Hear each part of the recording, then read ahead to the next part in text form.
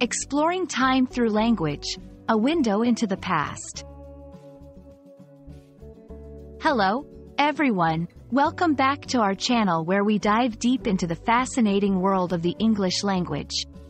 Today, we're going to explore a very picturesque phrase that offers us a vivid image and understanding of how language can bridge us to history and memories.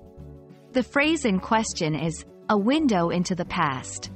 Stick around as we decode its meaning, usage, and the rich imagery it evokes in our minds. A window into the past is a metaphorical expression used to describe a way of seeing or understanding what life was like at an earlier time. Just like a window offers us a view of a particular scene, this phrase suggests that we can look through an imaginary window to see and understand history or past events. It implies that there's a medium or an object that provides a clear, insightful view into what has happened before our time, allowing us to gain a deeper appreciation for history and our collective memories. This phrase can be used in various contexts, each bringing its own unique perspective on history or personal experiences. Here are a few examples. Historical documents and artifacts. Visiting the museum's ancient Greek exhibit was like having a window into the past, showing us how our ancestors lived, thought, and expressed themselves. Personal memories and stories. Listening to my grandmother's stories is like looking through a window into the past, giving me a glimpse of what life was like when she was young. Literature and films.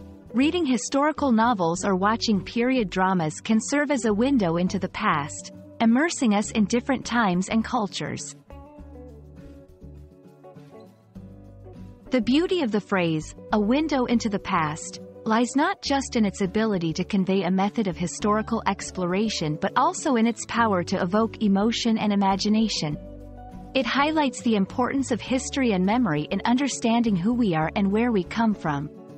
This phrase encourages us to seek out and cherish those windows into the past, whether they be through art, stories, or physical remnants of history, to enrich our understanding of the human experience.